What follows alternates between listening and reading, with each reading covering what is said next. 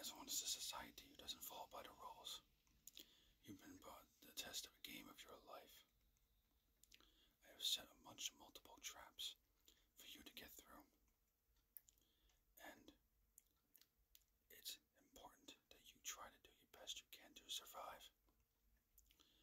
All you need to do, you are now chained up. Your, your, your leg is chained up to that bar right, right um, next to you.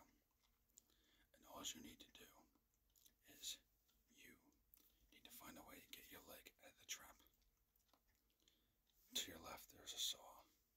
To your right, there is a hammer and a mallet. Use these tools to free your leg. How you do so, it doesn't matter. In this, this room is filled with podcasts.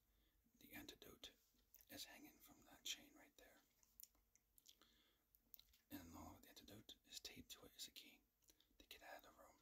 And, the antidote is like a medication, if you will.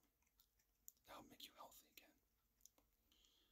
What will you but will you do what it takes to free yourself from this madness?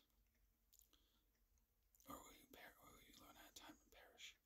You have exactly six minutes to complete this goal. Too close, and it'll be game over. As a side, Teddy, since you don't play by the rule, you would like to play by the rules and do your own thing. And you like to mess, run things for people, and do what you want at your job. And you find yourself on the wrong side of the law multiple times not learning your lesson. So now today, you will face your true lesson of will you follow the rules or will you give in to your pride, your prideful way of thinking and to your rules to survive. It's up to you. Let the games